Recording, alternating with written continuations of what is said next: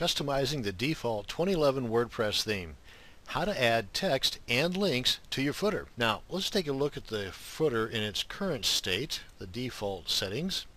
And let's go ahead and take a look at the footer after we add this little bit of code. You can add this entire new line down here. Yeah, I know there's plugins for it, but why add extra load to your site with additional plugins if you don't really need them when you can hard code it right into your child theme for example and no matter how many updates your WordPress takes on in the future this will remain intact as long as you keep your child theme intact.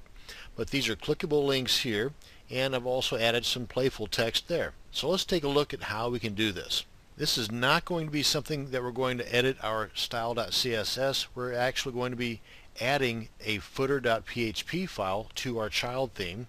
Now if you don't have a child theme, shame on you, but you can still do the same thing I'm going to show you here in the parent theme's footer.php.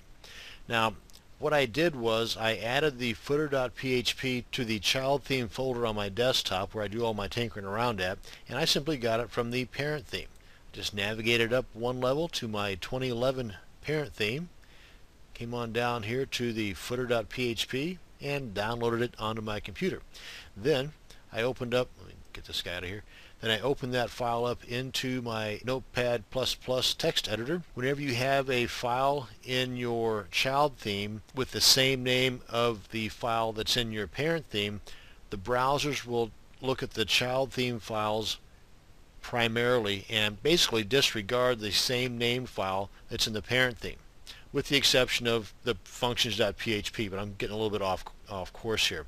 Now what I did was I right here on line 52 that's where it says powered by WordPress and right about in here probably powered by and then after the word by is where I added my playful text. Now of course you don't have to do this I was just a little like I said, playful. But if you do, be sure to keep the percentage sign and the S intact. So what I did was I just added the mutant hamsters, a treadmill, and in a space, and then that's it. The rest of this, I just basically added this to the existing text.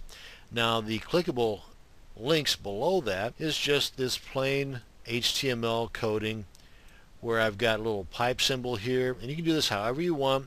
Again, it's just totally optional but I got the ahref tag with the URL and in this example I've got a clickable link to the text earnings disclaimer. So if I've got a page on my site somewhere that is the disclaimer for earnings or support or a contact us or a privacy policy, terms of service, whatever, then you can just add that HTML right below that one line on 52 that has the powered by line. Now to make this not all run together I also added this breaker right here. That's the opening and closing brackets and in between there I've got the BR space and then the forward slash. That's what brings this down to the second line. Otherwise this would be running right alongside this one here and all be on one line. So that's how you can add text and clickable links to your footer.